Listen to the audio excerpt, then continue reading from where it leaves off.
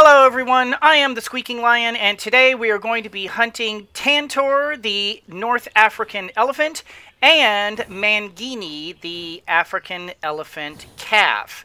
Uh, they are right next to each other, which is why we're going to be uh, taking them both together. Uh, now, you're going to want to start uh, here at the balloon like we always do, and come to this corner here, and then we're going to point ourselves towards this valley right here. And you can kind of see uh, over in the distance, you can see kind of like this uh, wall, kind of a wooden palisade type thing. Um, now, this particular um, hunting is not really hunting. This is more of a rescue. Um, unlike every other legendary uh, that we typically uh, find and capture, uh, these particular legendaries have suffered a very tragic fate, uh, and we need to rescue them from it.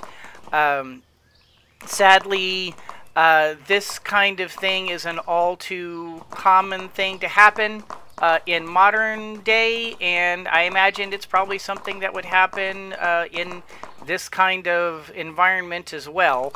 Uh, whoops. Now, in the distance over here, you can kind of see there's a white rhino in the distance over there. You're going to want to avoid him. Um, you can uh, just shoot him and take him and tranquilize him and keep him as your own, uh, but he's just a typical rhino. He's not a legendary. Um, but right over here, you see this very sad story here. Um, this is the father. This is Tantor right here. That's the mother, uh, but the mother is just a typical uh, elephant. She's just a standard uh, African, I believe, brown elephant. And this is the baby. Uh, this is Mangani.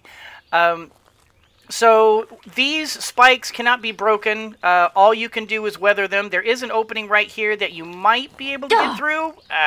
but I have yet to ever make get through that without getting uh, pinked by it.